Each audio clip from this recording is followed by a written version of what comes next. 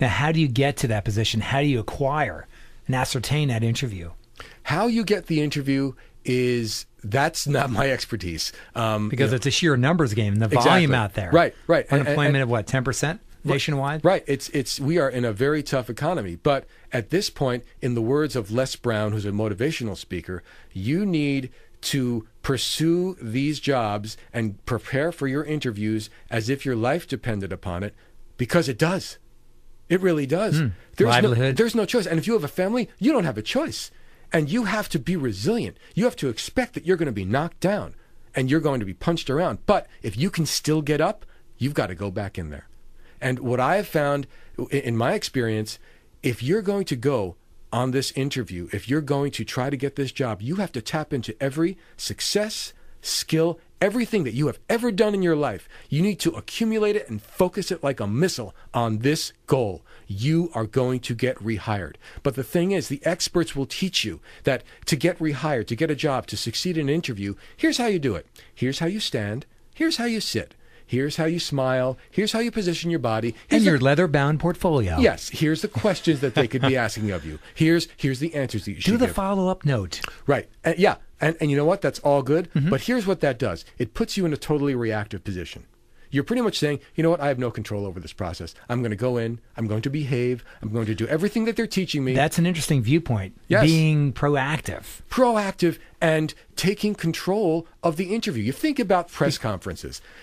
A press conference for a, a politician or, or a business person or a sports coach, they always get back to the point they're trying to make. Mm-hmm. Someone may- Dissemination of information. Yes, someone will- Questions possibly. Right, someone will ask them a question. They'll sort of answer it, but they'll get back to their initial Absolutely. strategy. The You- art. You, need to go into that interview with a strategy. They'll ask you questions, you'll answer them, but you have to get back to that strategy of I am going to prove I am the solution for what you're trying to find. And that has been missing from the interview literature. They're not teaching strategy. They're, tr- they're teaching tips. And tips aren't going to get you hired. Hoping for the best isn't going to he- get you hired because that's not a plan. In everything else we do, we have a plan. We have a methodology. It's like you're going to build a house. Well, uh, you want to choose the paint for the rooms and the carpeting and the fixtures, but you need a blueprint.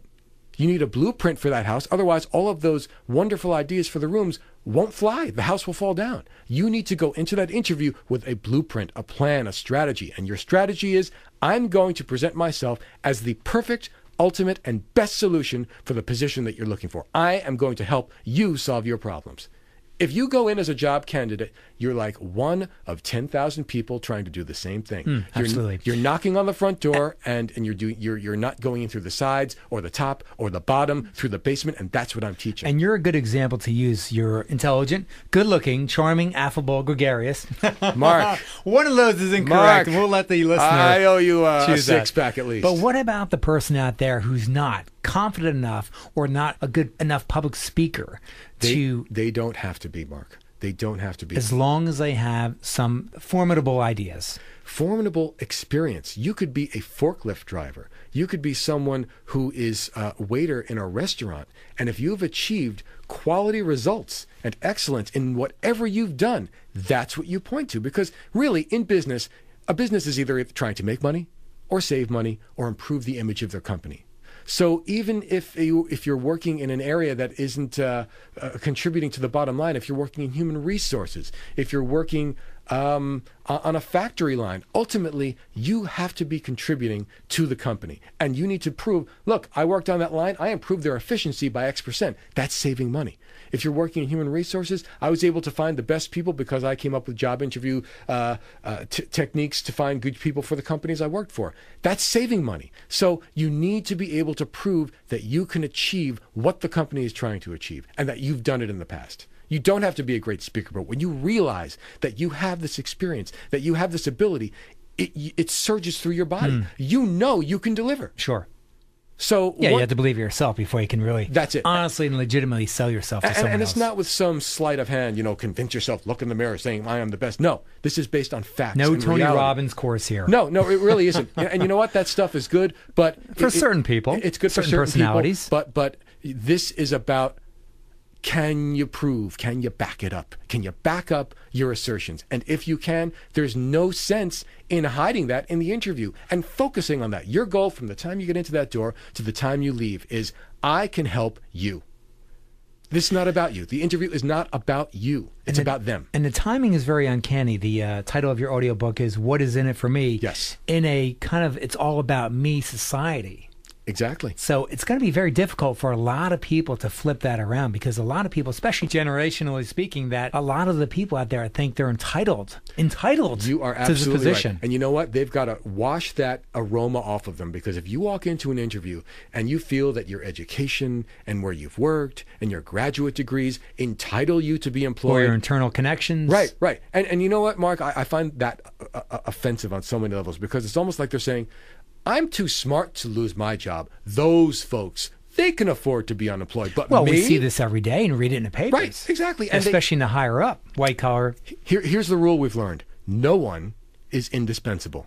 Absolutely. We like to think we one. are. We, you think you are, and it's a delusion. And Absolutely. once you lose your job, that creates the anger, the fury. How could they do this to me? Hmm. And you have to work through that because if you're going to go out there again, if an interviewer picks up on that entitlement, you will never get you'll never get hired. Rafe Gomez, I've always been a believer of you should be the number one marketing person for yourself. I believe this for uh, my professional career for the last 18 years, and that still holds true. Do you believe? I believe, but th- th- this is another thing that the experts tell us. You get into an interview, you need to sell yourself. Well, I think there's a difference between selling yourself and talking about yourself. Talking about yourself is me, me, me, me, me, me, me, me, me, me, and an interviewer will turn off immediately. An interviewer wants to hear, here's what I did, here's how it's going to benefit you. Hmm. Here's what I did at this company. In a- in here's it conduit form. You've got to turn it around. funnel it. Because you have, if you went into a car dealer and you wanted to buy a car and you go with their top salesman and he's got all these awards on his wall or her wall and he's saying, yep, top salesperson three years in a row. Yeah, yeah, let me tell you about the Whoop-de-doo. Who cares? Mm-hmm. What's in it for me? I want to save 5K off the top of the list price there. You want to save 5K. You want to find the right car for your lifestyle. All you care about is what's in it for me. This is a sales technique, a strategy that salespeople do all the time. This has been around since there have been sales. The, s- the effective salesperson is going to sell because they've determined that prospect's unique needs. And you're simply doing this now in an interview. And if you look at things like QVC, if you even think look at things like the Snuggie or the ShamWow um, in the infomercials, they are masters of the what's in it for me. Because when you're watching those infomercials, they're so goofy, they're so silly. But after the But you but think to yourself, how can I live another day without having this? you know what, Mark? After the twentieth time, you're thinking, you know what?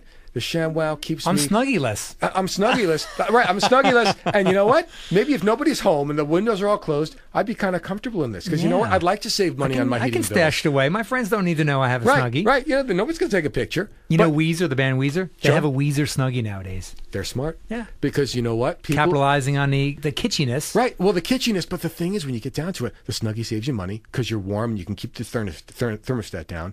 Uh, at the end of the day, after a long day, you want to unwind, so you get your favorite book or you turn on TV, you get something to drink, and you put the Snuggie on. So it taps into the what's in it for me. This sounds like all the makings for a SNL skit. Oh yeah, it's it's it's pure. The Snuggie family. It's true. It's, it's, it's pure comedy in a goofy kind of Absolutely. way. But the reason why it's sold 10 million is because people are watching it and they're saying, this is what's in it for me.